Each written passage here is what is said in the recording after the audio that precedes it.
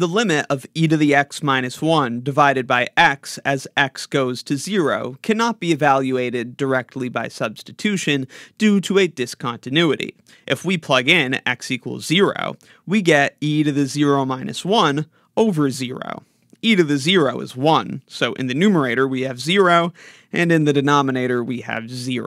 So this is an indeterminate form, which is good news if you know L'Hopital's rule. Applying L'Hopital's rule, we can evaluate this limit by considering the limit of this same function, but with the numerator and denominator differentiated.